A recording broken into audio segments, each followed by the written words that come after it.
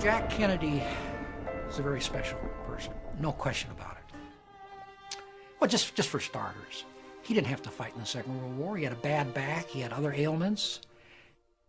John F. Kennedy used his father's influence to get into the war, into combat, and he ended up being a tremendous war hero.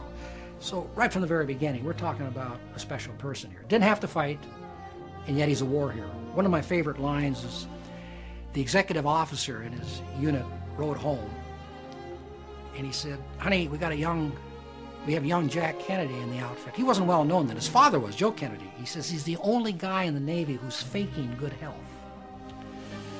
So he was a special person. Uh, people spoke about his irresistible charm. Everyone said that about him. His brother, Bobby, people loved him, but people also hated Bobby. They said he was ruthless. Many people did, but they also loved him. But as far as I could determine, everyone seemed to like John F. Kennedy. Look magazine said even his political opponents liked and respected John F. Kennedy. And as you probably know, when he died, it was said that more people mourned his death than any other human in world history. The thing to me that is the most impressive testament to how special John F. Kennedy was was the way his death was greeted by tens of millions of people in the Soviet Union and behind the Iron Curtain. The evidence is overwhelming that they took his death almost as hard as we did here in the United States.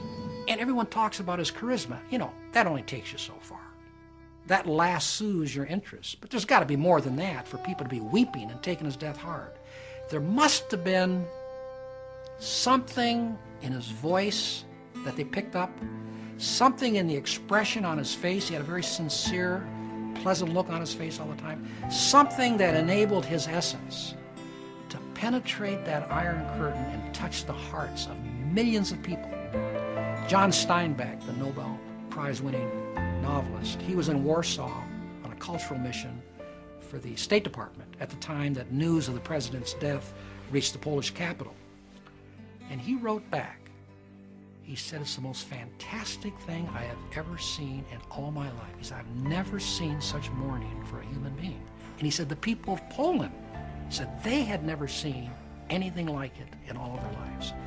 We're talking about a very special person here, John F. Kennedy.